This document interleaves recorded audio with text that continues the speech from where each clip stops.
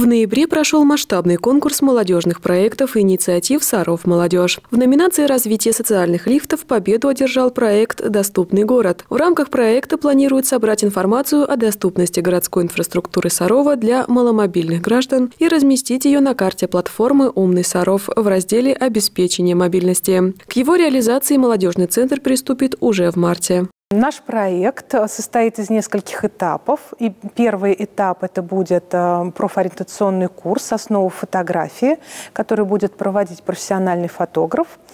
Э, будет обучать молодежь с ОВЗ, с ограниченными возможностями здоровья, Основам фотографии. Цель курса – научить молодых людей снимать объекты социальной доступности учреждений города. Снимки планируют разместить на карте доступности платформы «Умный Саров». На основе предоставленных сведений саровчане с УВЗ и инвалидностью смогут построить удобный маршрут и выбрать объекты города для посещения. А в апреле специалисты «Умного Сарова» проведут для молодежи с УВЗ обучающий курс по работе с платформой. Реализация проекта – значимый шаг в адаптации инфраструктуры города для маломобильных граждан граждан, считает Екатерина Никанорова. Информацию всю будут собирать участники клуба «Лотос» и та молодежь, которая, я надеюсь, подключится к реализации э, данного проекта. И, в принципе, это социальная адаптация инновации в нашем городе, потому что весь проект будет реализовываться с участием молодежи с неограниченным возможностями здоровья. Принять участие в проекте «Доступный город» может любой желающий в возрасте от 14 до 35 лет, позвонив по номеру 99 118, либо написать в сообщество клуба общения «Лотос» ВКонтакте.